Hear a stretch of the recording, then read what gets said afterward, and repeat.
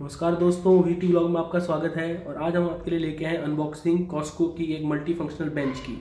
इस बेंच का model number है C S V fifteen multi functional deluxe bench इसका जो ऑनलाइन मार्केट प्राइस दिखा रहा है, वो दिखा रहा है अट्ठारह हज़ार सात सौ रुपये लेकिन ये हमको जो शोरूम के अंदर मिली है, वो बारह हज़ार रुपये की मिली है फाइनल प्राइस तो अभी हम इसकी अनबॉक्सिंग करने जा रहे हैं। तो बने रहिए हमारे साथ।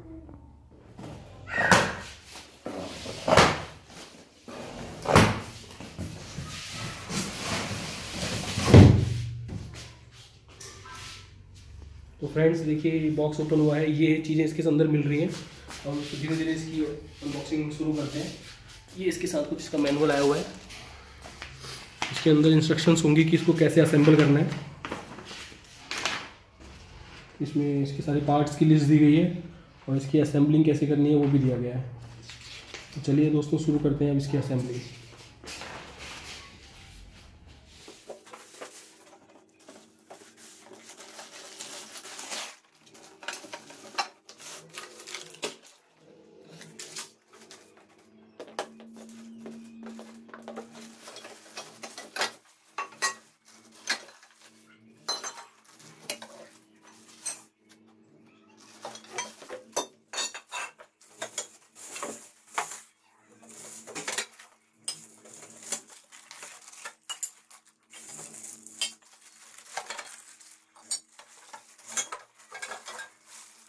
तो ये देखिए, इसके सारे पार्ट्स हमने अलग अलग कर दिए हैं।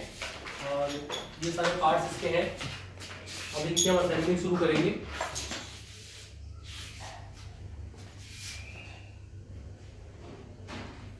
ये इसके सारे, इसके साथ इसके स्क्रूज वगैरह सब कुछ आता है।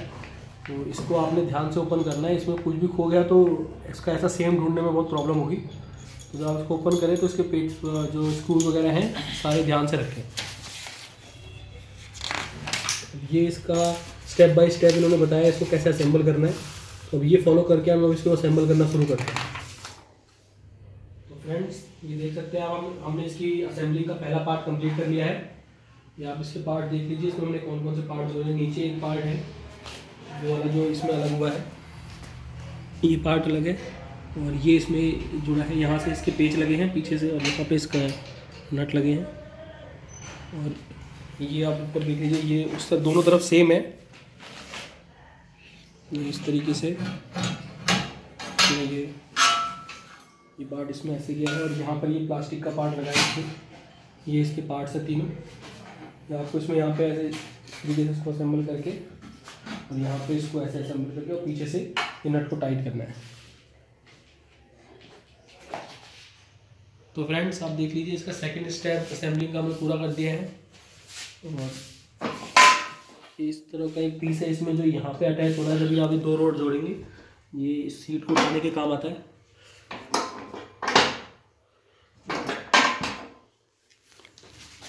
ये इधर वाला,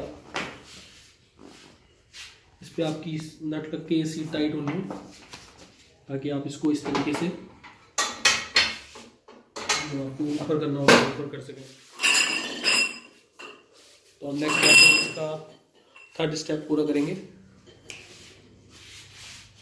तो फ्रेंड जैसे आप देख सकते हैं कि कॉस्को की मल्टी फ़ंक्शन बेंच अभी फाइनल कंप्लीट हो चुकी है। इसमें ये वाला जो पोर्शन है, ये आपकी लेग वर्कआउट के लिए है। और आप इसको रिप्लेस करके ये वाला पार्ट लगा सकते हैं। बाइसेप्स के लिए।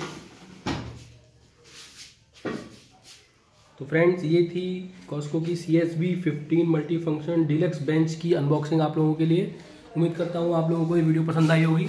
अगर आपको ये वीडियो पसंद आई तो इसे लाइक करना ना भूलें और हमारे चैनल वी टी ब्लॉग्स को सब्सक्राइब करें। Thank you very much